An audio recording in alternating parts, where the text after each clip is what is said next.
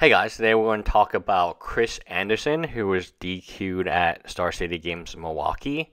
He was DQ'd officially for aggressive behavior, but the way that Reddit phrases stuff means it's kind of over the top. They were saying that he was almost going to flip a table.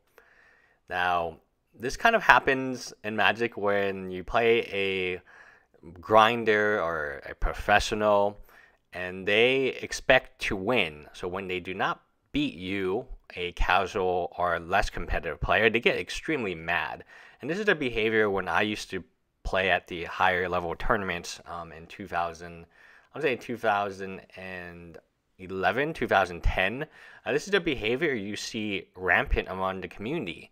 I re- even remember playing when I was 12 or 13, and I'm like, wow, these grown ups are extremely ill behaved and they get angry, they are mad all the time, and it's just a game. It's just a game. I know some people's livelihood depends on this game, but at, this, at the end of the day, if you want the game to grow, you do have to behave a certain way, and definitely being upset and slamming your table, being DQ'd for aggressive behavior is not the way to promote the game.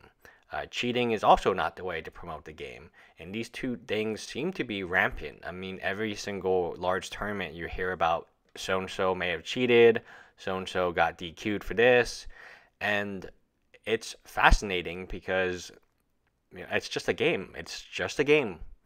You know, just remove yourself from.